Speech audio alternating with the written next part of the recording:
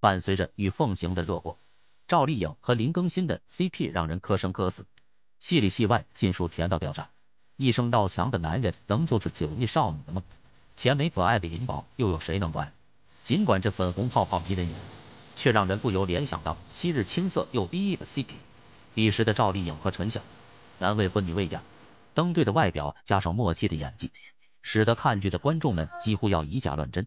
二零一三年，《陆贞传奇》已经上映，赵丽颖单纯软萌的少女感，一下子就抓住观众们的视线，极具欺骗性的笑脸。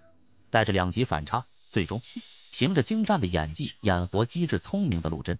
当初的赵丽颖远没有现在那么高的知名度，害羞寡言，使人们并没有机会认识到她的真实个性，甚至还因为不善言辞得到很多人的误解。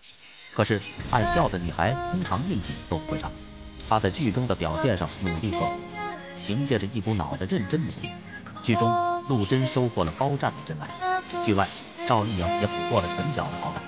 两个人同框的时候，观众总是能捕捉到陈晓眼中的光亮。然而，感情生活备受关注的人，似乎就差一个合适的关键点，才能结合到一起。而面对密罗紧堵的采访，陈晓每每展现出了不确定。这个面上总是带着羞涩笑容的女孩，也慢慢退后自己想要向前的脚步。在陆贞宣传结束之后，两人往日的甜蜜互动也开始少了字。过去甜蜜的种种，仿佛是过眼云烟。随风消失，直到《神雕侠侣》播出之后，陈晓先是宣布与陈妍希的恋情，随后又是求婚、领证、步入殿堂。这时候，观众才恍然，陈晓与赵丽颖早已没有婚然而，婚姻的经营总是充满各种各样的挑战。婚后的陈晓在短暂的幸福，从那个爱笑的大男孩，慢慢变成寡言冷漠。观众们在荧幕上更多只能看见他木然的神情，往日的精神气息似乎从他身上脱落。不久之后，赵丽颖也嫁给陈少东，组建了属于自己的幸福家庭。至此，两人分别拥有自己的家庭，再无缝。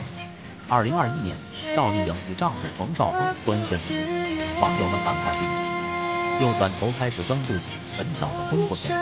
当初男才女貌的二人，在观众看来分明是那么般配，那么可。是青葱岁月总是充满各种各样的遗憾，两人终究不过是在错误的时间内遇上彼此。